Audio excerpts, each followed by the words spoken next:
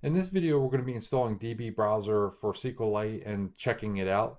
And DB Browser is a real lightweight tool for working with your SQLite database. And if we go to the checklist, the first thing we'll do is we'll install it, set it up in our machine, the DB Browser for SQLite. Then we'll create some tables, and then we'll also insert some records into our tables by the end of the video. Where you need to go to download this is go to the downloads button and I'll have this link down in the description. If you click on that, you'll end up on this page. And in my case, I'm interested in installing for Windows and I'm using 64-bit. Now, if you're not sure which bit you are using, you could always go down to your, or go into your search and search for control panel. And then go into system and security and system right here. And right here, you'll find that information. So I'm using 64-bit. So that's what I'm going to install. So I'll close this back down and I'll install this. Once it's done installing, go ahead and open it up. Accept the terms and hit next again. And here I'm going to go ahead and add a shortcut to the desktop. So I'll click on this and hit next. And this would be fine. I'll leave it as the default and go ahead and install it.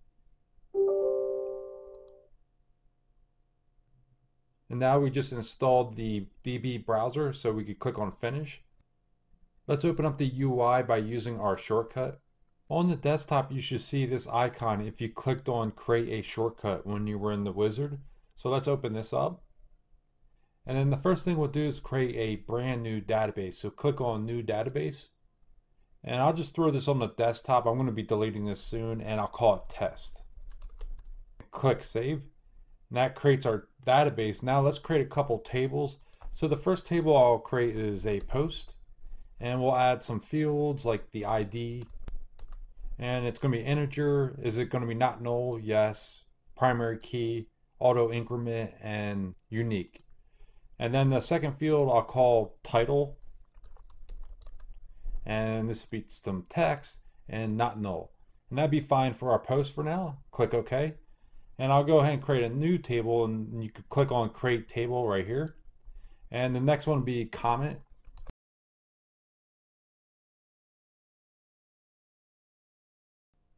And hit OK. So we created a couple tables. So let's add some data to our tables. So in this case, we'll add some information to our post. We'll create a few posts. We'll insert some records to our post. So to do that, click on Browse Data and then click on insert. And this will open up a field for you right here. So we'll add one right here. And to give you some more space, just uh, expand it right here. You could do that right here. And then I'll just say post one.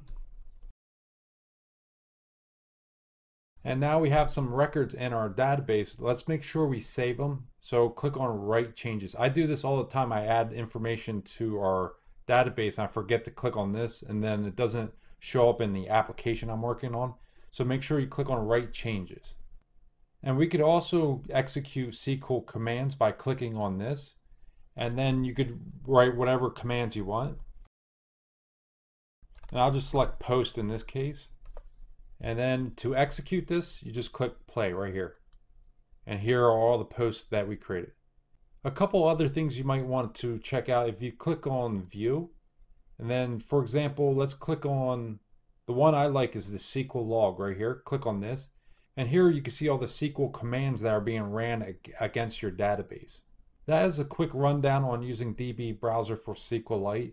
In the next video, we're going to check out a plugin within Visual Studio Code that helps you with working with SQLite. And we'll do that next.